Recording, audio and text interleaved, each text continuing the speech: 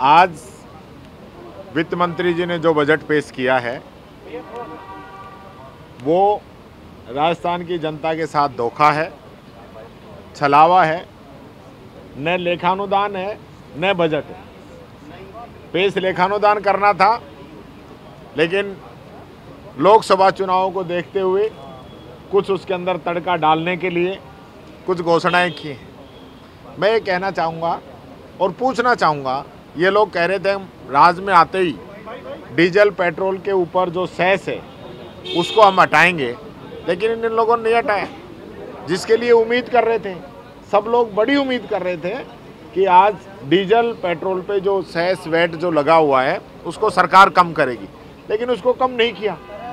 KG से PG तक की शिक्षा फ्री करने की बात कर रहे हैं। बजट के अंदर क्या प्रावधान किया है? एक रुपए का प्रावधान है क्या? और मैं फिर पूछना चाहता हूँ, केजी से पीजी के अंदर बच्चों से कौन सी फ़ीस ली जा रही है? ऑलरेडी कॉलेज तक की शिक्षा बच्चियों के लिए तो गहलोत जी ने पहले ही फ्री कर रखी है। आप कह रहे हो कि हम हाईटेक सिटी बनाएँगे। मैं पूछना चाहता हूँ, मोदी जी की सौ स्मार्ट सिटी तैयार हो गई क्या? सांसदों ने जो गाँव गोद लिए थे, वो आदर्श गाँव बन गए क्या? इससे पहले महिंद्रा से सिटी बन रही थी, वो आपने पूरी कर दी क्या? आप सिर्फ़ और सिर्फ़ लोगों को गुमराह करने का काम कर रहे हो। आप कह रहे हो हम पेंशन बढ़ाएँगे डेढ़ सौ रुपये आपने कानून नहीं पढ़ा क्या?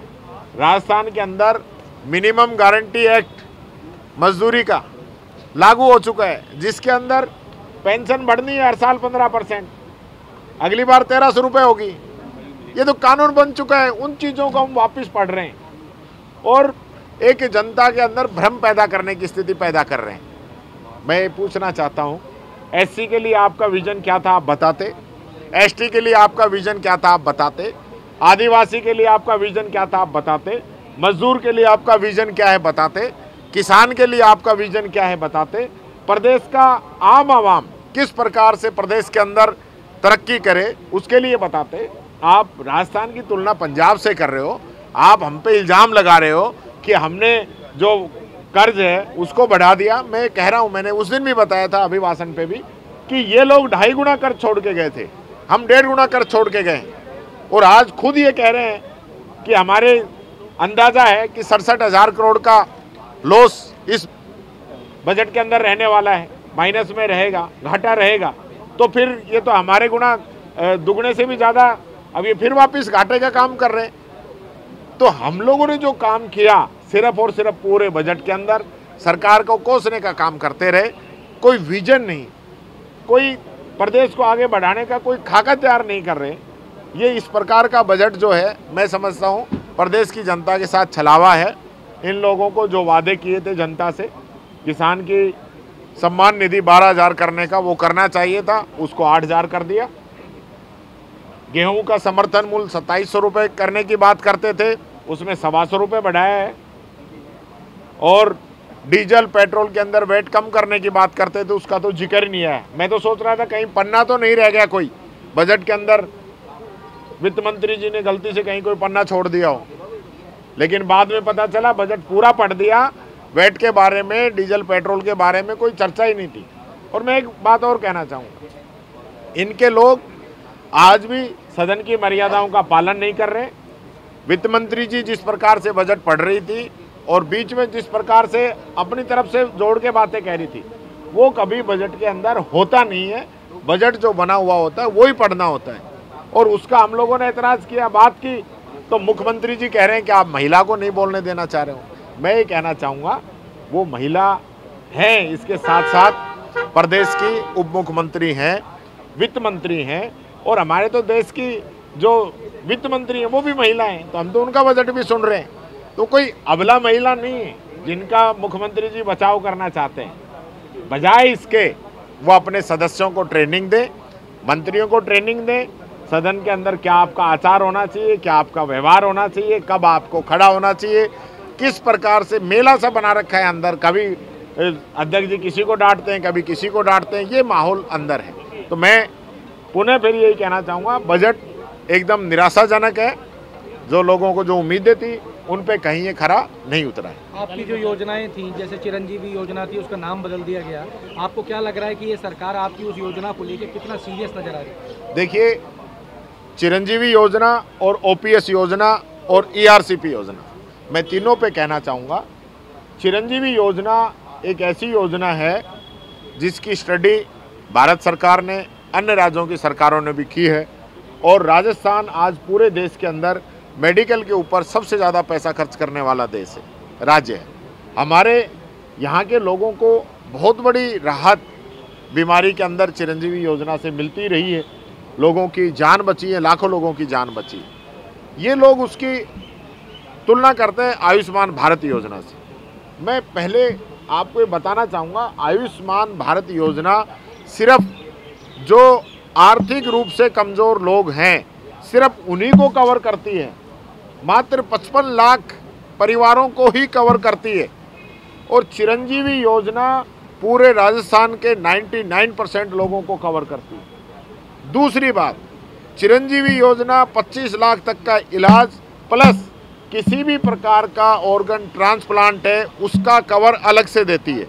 आयुष्मान भारत योजना मात्र पाँच लाख रुपए का इलाज मुहैया करा रही है। इतना बड़ा अंतर है। तो हमारी योजना का ये लोग नाम नहीं बदल सकते। फिर तो योजना ही इनको बदलनी पड़ेगी। हाँ हम ज़रूर ये कह रहे हैं कि हमारी योजना का नाम बदल लें।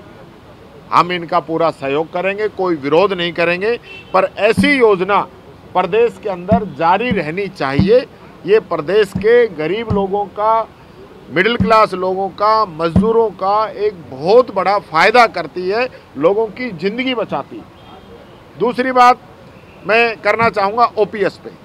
ओपीएस पे भी सरकार ने कोई अपना रुख स्पष्ट नहीं किया है।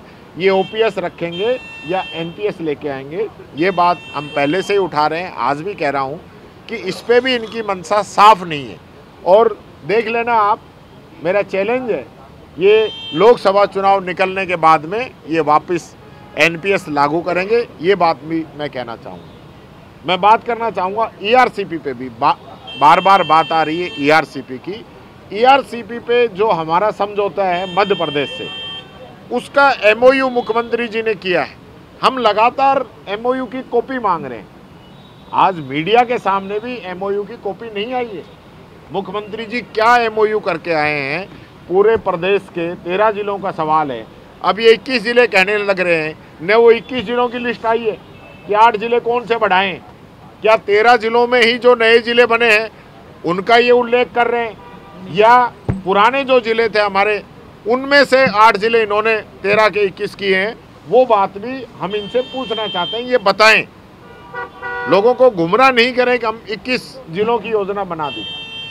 तीसरी बात मैं कहना चाहूँगा कि ये ये बताएँ कि पहले जो पानी का जो बंटवारा हुआ था 3510 एमसीएफ वो पानी हमें मिलेगा, या अब 2410 का ये जो एमओयू की सुनने में आ रही है, क्योंकि एमओयू तो आया नहीं तो उस बंटवारे पे पानी मिलेगा।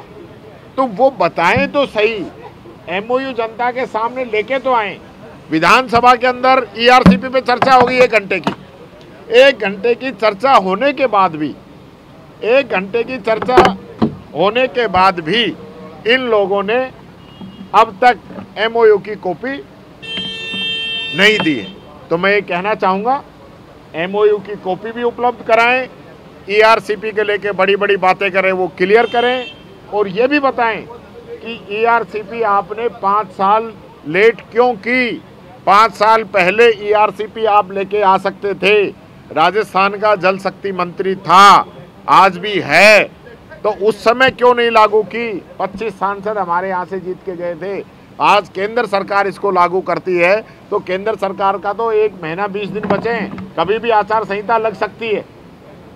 तो अब आखिरी में चलते हुए आर सी पी की घोषणा करके सिर्फ़ इसका राजनीतिक फ़ायदा उठाना चाहते हैं। जनता इनको माफ़ नहीं करेगी, ये मैं कहना चाहूँगा। पाँच साल जो इन्होंने डिले की, उसका जवाब जनता ज़रूर मांगेगी।